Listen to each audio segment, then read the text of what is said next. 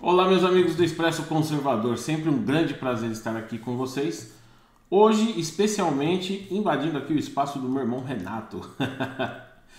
Pegue seu café aí que eu separei as notícias legais para ver se a gente consegue dar um, um ânimo é, no dia da gente aí. Separei já uma notícia boa, tá certo? Uma notícia boa. Hoje com uma novidade, já que eu estou invadindo o espaço do Renato aqui, eu vou colocar na tela. Tá aí, ó. Manifestantes fazem carreata contra a Maia na esplanada dos ministérios, tá certo? É, Foi-se é, publicado aí na, na, na imprensa de direita, tá? Os canais alternativos no YouTube, no Twitter, publicaram as manifestações que houveram, tanto pela saída de Maia quanto em favor do nosso presidente. Em Brasília tivemos a carreata é, Bolsonaro não precisa de Moro, que foi um sucesso, uma esmagadora maioria de gente lá dando apoio para o nosso presidente, o que é muito importante porque mostra que o povo está com Bolsonaro, ao contrário do que o, o o, é, o pessoal aí que quer a queda dele, que está planejando esse golpe, está falando. Então o povo não abandonou Bolsonaro. Tivemos aí alguma meia dúzia de pessoas que abandonou, mas a grande massa continua com Bolsonaro, tá certo?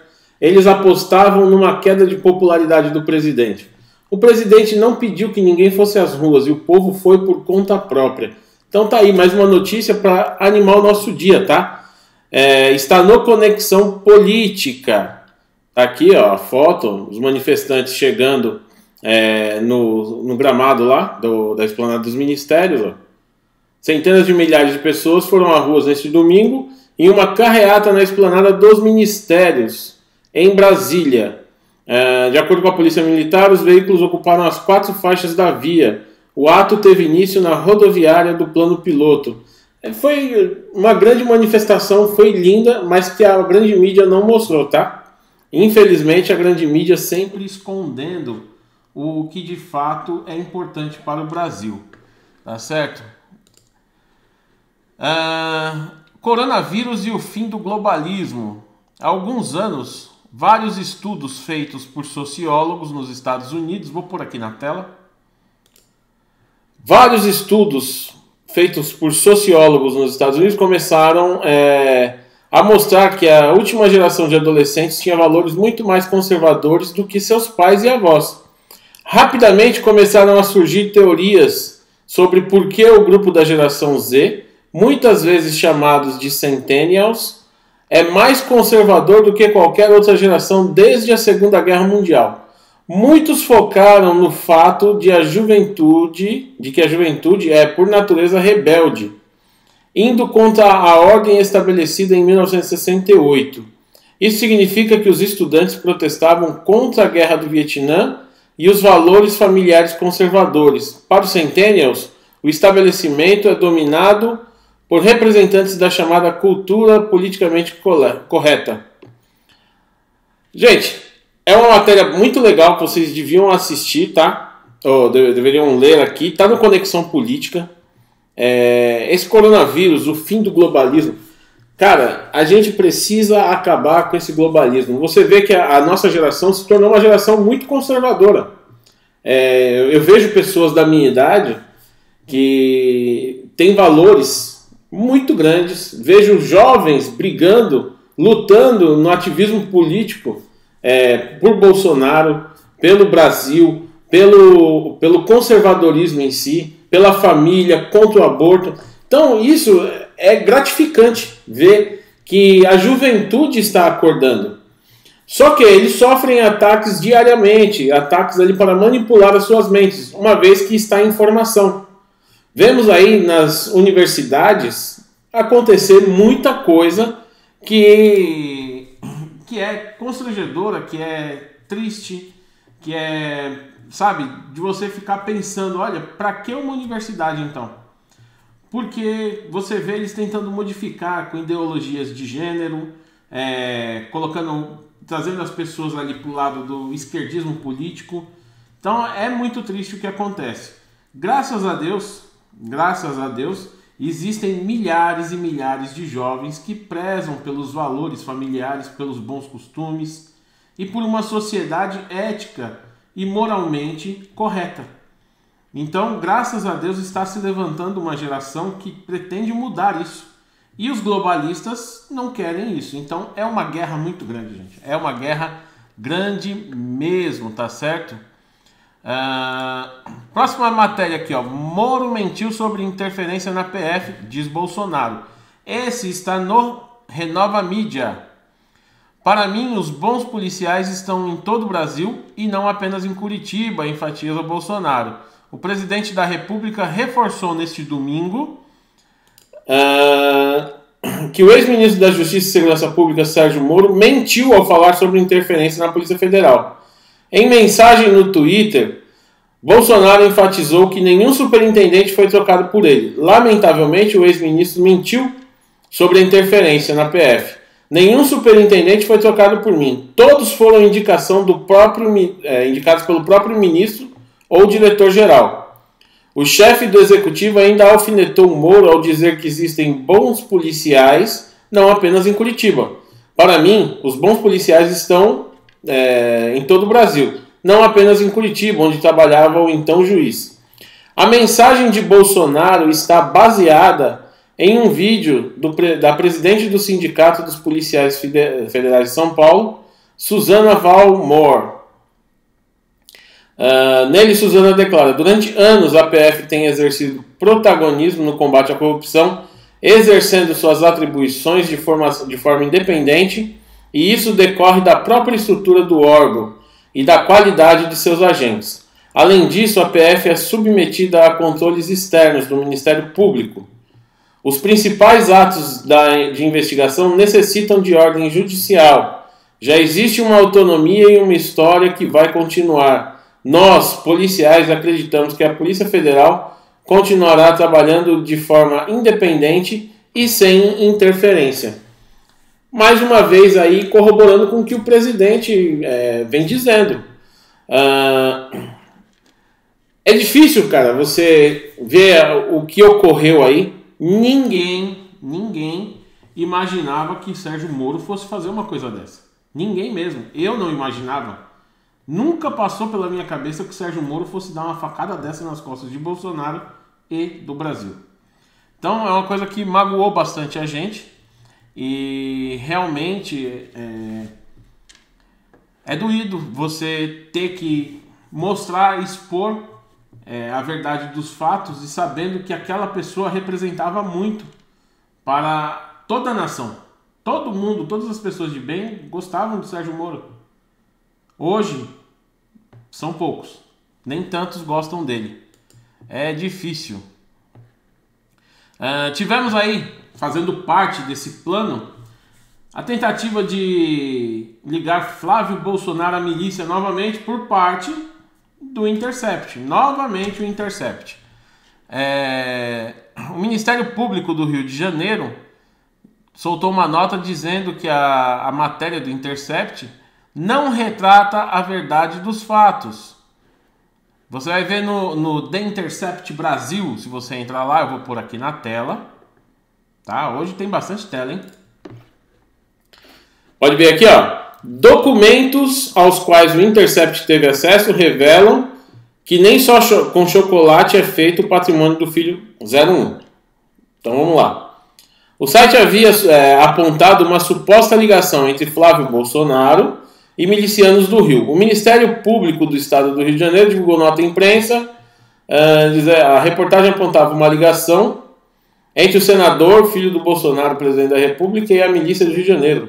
O site de extrema esquerda alega que Flávio teria investido e lucrado com a construção de prédios pela milícia na zona oeste do Rio de Janeiro, tá certo? Uh, o Ministério Público, essa nota, abre aspas, o Ministério Público do Rio falando, o Ministério Público do Estado do Rio de Janeiro, por meio de um grupo de atuação especializada no combate à corrupção, esclarece que, em relação à matéria publicada no site Intercept, a rachadinha de Flávio Bolsonaro financiou prédios ilegais da milícia no Rio, veiculadas neste sábado, a publicação não retrata a verdade dos fatos e que, em razão do sigilo decretado nas investigações, não é possível fornecer informações no momento. Então, é uma investigação que está sob sigilo. Mais uma vez, o Intercept tem acesso a documentações sigilosas, escolhe aquelas que lhes favorecem para criar uma narrativa e lançam isso na sociedade no momento em que Sérgio Moro rompia com o presidente Bolsonaro e que criou uma crise política muito grande no Brasil. Então você veja que eles estão mancomunados, tá? Eles estão juntos. Só que o Ministério Público do Rio veio, é, em nota, desmentir a reportagem do Intercept, dizendo que a reportagem não reflete é, a realidade dos fatos, tá certo? Brasil amplia limite para compra de munições. Quantidade máxima permitida para civis com arma registrada passou de 200 munições por ano para 600. O governo Jair Bolsonaro publicou uma portaria nesta quinta-feira que multiplica a quantidade de munições aos cidadãos. Cidadãos, cidadãos é difícil, hein? Uh, com porte e posse de arma e agentes de segurança podem adquirir. Uh, a portaria foi publicada pelo Ministério da Justiça e Segurança Pública. O texto estabelece quantitativos mensais para a compra de munição e diz que eles podem ser acumulados ao longo do ano. O limite para pessoas físicas autorizadas a ter uma arma, por exemplo, triplicou, passando de 200 para 600 munições por ano. Eu acho uma medida muito, é, uma medida válida, muito bem elaborada e atende aos anseios da sociedade. Nós queremos uma sociedade que possa ter a, a escolha. Olha, eu quero ter uma arma, eu vou ter uma arma. Eu não quero ter uma arma, eu não vou ter uma arma. Eu quero comprar munições, eu quero treinar tiro. Então, eu acho isso muito válido. Eu acho que 600 munições por ano está ótimo. Por mim, não teria limite. Eu não limitaria a compra de munições pelas pessoas, mas infelizmente é, nós estamos no Brasil, tá certo? Infelizmente é assim hoje. Uh, Zambelli revela novos prints de conversa com Moro. Então eu vou pôr na tela aqui também. Tá certo? Vamos ver aqui. Vamos ver se a gente consegue aqui. Aí, aí ficou melhor, hein? Uh, ele estava só, tá aqui ó, no site Renova Mídia também. Ele estava só preocupado em tirar alguma vantagem em tirar um print, disse Zambelli sobre Moro. A deputada federal Carla Zambelli mostrou novos prints de conversa dela com o então ministro da Justiça e Segurança Pública, Sérgio Moro.